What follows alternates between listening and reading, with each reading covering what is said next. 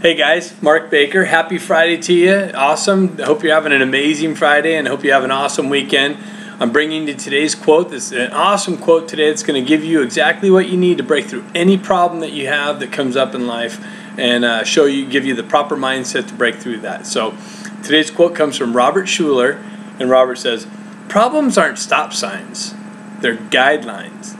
So too many of us nowadays, and even back then, I mean, we're, we're programmed to, to be drama, be, you know, dwell on things. A problem comes up, and instead of just dealing with it and breaking through it and using it as a guideline to get past it, we sit in it and we prolong it and we want to complain about it and we want to draw it out and feel sorry for ourselves. So stop doing that.